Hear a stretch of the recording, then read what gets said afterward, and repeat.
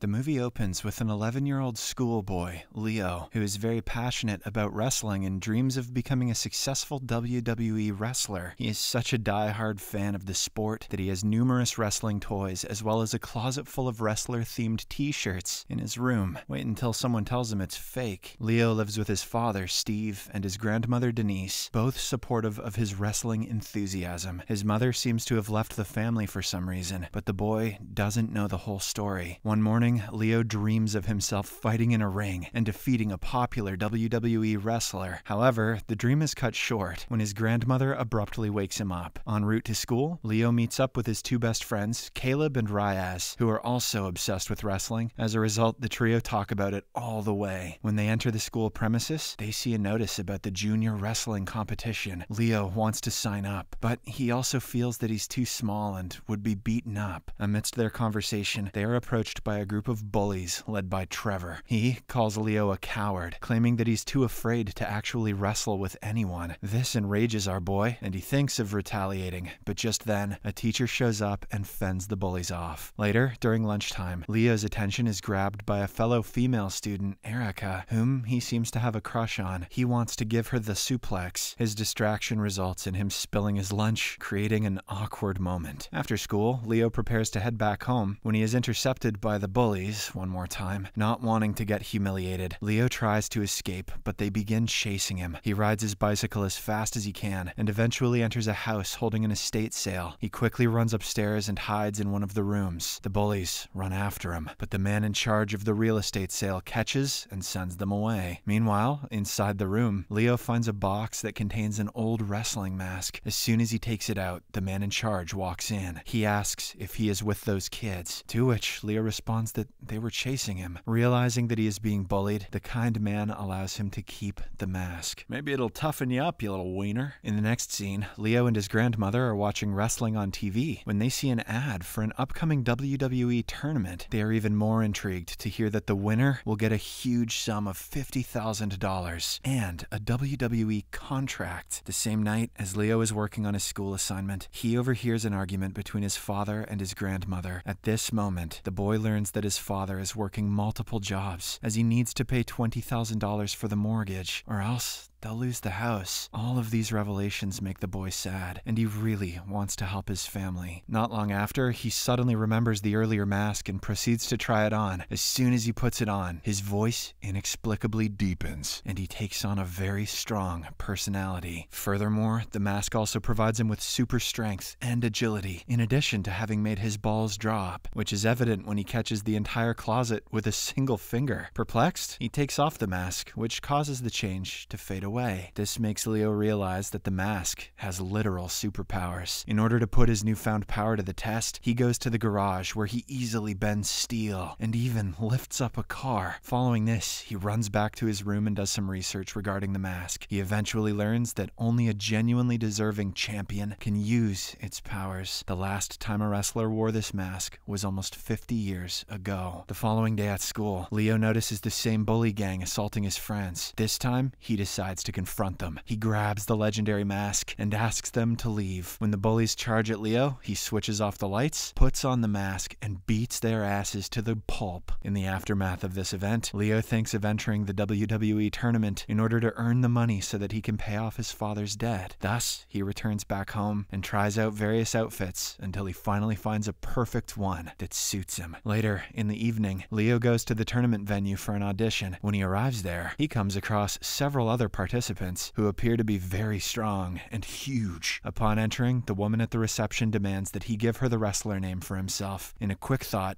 the boy comes up with the name Kid Chaos. After this, Leo tries to converse with the other wrestlers, but the only one who is nice to him is Smooth Operator. He looks pretty strong, but he has a very soothing singing voice. Just then, another giant wrestler enters the scene with his manager Frankie. The manager introduces his client as Samson, who appears to be a very dangerous fighter. A short while later, a popular WWE wrestler, The Miz, walks up to the stage to host the audition program. As the event begins, the participants undergo various strength and agility tests, with Leo excelling in each and every stage. His friends watch the event on TV, but they have no idea who is actually behind the mask. At the end of the event, Leo is finally selected to compete for the tournament. Now that it's already late, Leo sneaks into his house via the window, but his grandmother catches him anyway. She demands to know where he had been, to which the boy confides everything in her. He also believes that he can win $50,000, which can settle all of their debts. Upon hearing this, Denise agrees, but she makes him promise that he won't let himself get hurt. The next day at school, Leo is with his friends in the library when he spots his crush. This time, he decides to use his magical mask to talk to her. The mask immediately boosts his confidence level, after which he's able to grab her interest. He also manages to get her phone number and decides to call her later. However, that evening, Erica shows up at his house anyway as she was just passing by. Seeing her in person, Leo gets nervous because he is just himself without the mask. Regardless, he gathers enough courage to converse with her, trying his best to leave a positive impression. He daydreams about how next time he'll give her the tombstone. The scene then fast forwards to the tournament day. Leo has his first bout with a wrestler named Big Billy Beavers. As the fight begins, Leo struggles to gain the upper hand for the first few moments, but he eventually manages to defeat the opponent using his mask powers. In the second match, he faces another wrestler, Stinkface, who initially distracts him with his smelly hair. Regardless,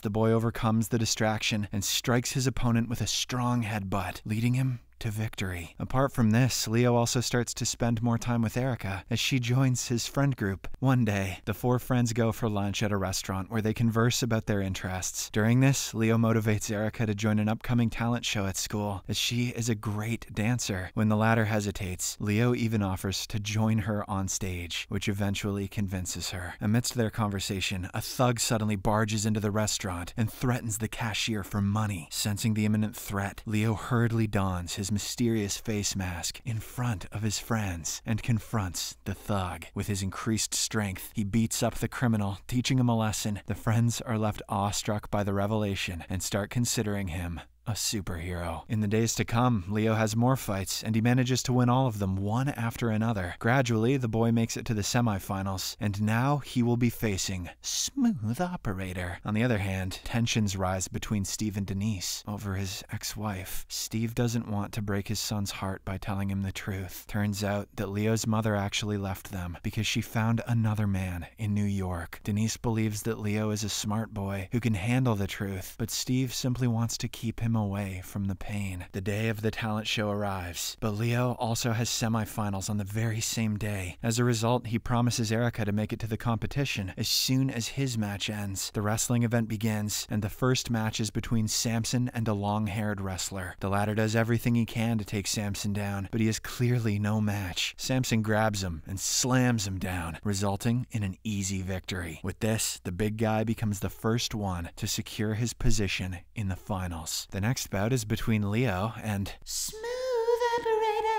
Moments before the match begins, Frankie spills some oil in Leo's way, making his shoe slippery. As a consequence, the boy struggles to maintain his posture. Since he can barely stand, Smooth Operator starts beating him up and tosses him out of the ring. But despite the initial struggle, Leo somehow manages to fight back and strikes his finishing move, Chaos beam. ultimately leading to his victory. After the match, Leo is approached by his friends backstage to congratulate him for his win. The boy removes his mask to talk to them, reverting him back to his original form. At this point, Frank, who is secretly keeping an eye on him from a distance, learns that Kid Chaos is just a boy with a magical mask. Just then, some media reporters summon Leo for an interview. As he walks out, he is surprised that he now has fans who cheer for him. Following this, he begins interacting with them, causing him to lose track of the time. Meanwhile, at the talent show, Erica requests the host shift her performance to last because her partner hasn't arrived yet. However, Leo doesn't show up, so she prepares to dance alone. Just when it seems her performance is about to be ruined, Caleb joins her on stage and offers to dance with her. She immediately agrees, and they end up stealing the show with their impressive moves. Shortly after the event ends, Leo finally arrives, but he doesn't seem apologetic at all. He believes that his wrestling is much more important, which makes his friends even more upset, but not nearly as upset as Uncle Ben is going to be. In the next scene, Leo returns home, clearly disturbed by how his friends reacted. Seeing his distress, Denise goes to talk to him, asking him to open up. He then confesses that he thought the mask would solve all of his problems, but things are only getting worse. In response, his grandmother tells him that it's not the mask that should be blamed, because it's Leo who should decide when and how to use it. After reflecting on his actions, the boy acknowledges his mistake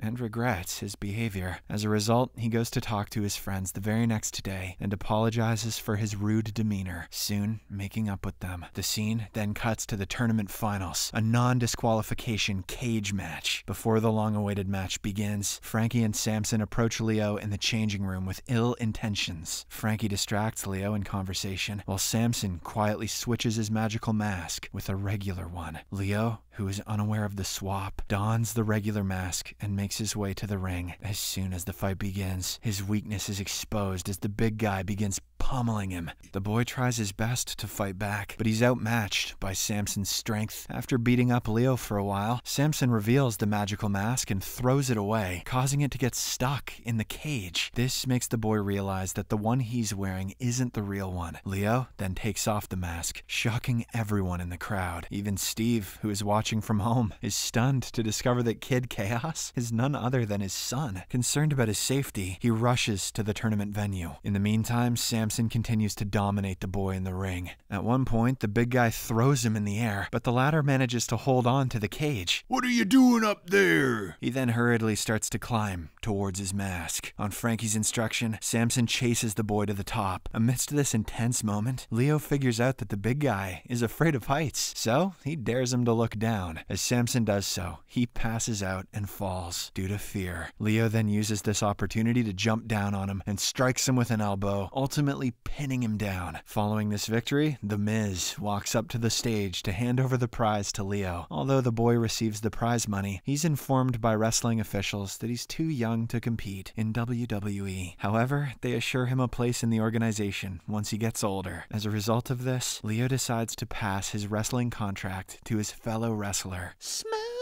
Two weeks later, Leo is seen participating in the school's junior wrestling competition, now displaying full confidence without the mask. The movie ends as he faces his bully, with his dad cheering him proudly from the audience.